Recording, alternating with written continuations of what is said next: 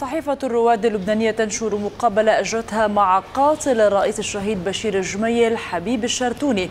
والنائب نديم جميل يطالب عبر ال MTV مدعي عام التمييز بالتحرك سريعا لاستجواب المراسل. عشية ذكرى اغتيال الرئيس الشهيد بشير الجميل التاسعة والعشرين صدرت صحيفة الرواد اللبنانية صباح الاثنين 12 أيلول وعلى صفحتها الأولى. عنوان مقابلة مع قاتل بشير حبيب الشرتوني يعترف فيها قتلت بشير ولست نادما.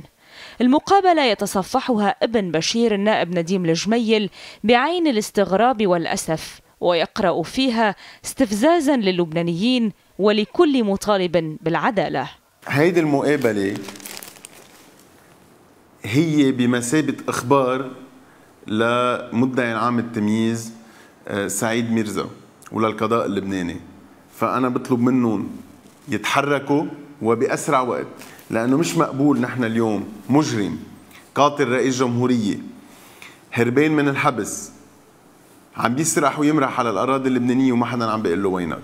القضاء تحرك تيروح يستمع لنيكولاس برانفورد آه، مراسل التايمز بلبنان وما عم بيتحرك ليروح يستمع لشهادة آه، ناصر عبد المحسن يلي هو عامل مقابلة مع آه، المجرم حبيب الشرتوني من هون نحن طلبنا بتحقيق دولي لأنه عارفين تماما إنه القضاء اللبناني منه قادر يضبط هيك مجرمين. ويتوقف الجميل عندما قاله الشرتوني إن الحزب القومي السوري الاجتماعي طلب منه اغتيال الجميل هيدا اعتراف واضح إنه الحزب القومي وسوريا قاموا هن بعملية اغتيال بشير جميل وفي ذكرى اغتيال بشير يؤكد الابن حمل المشعل وإكمال المسيرة.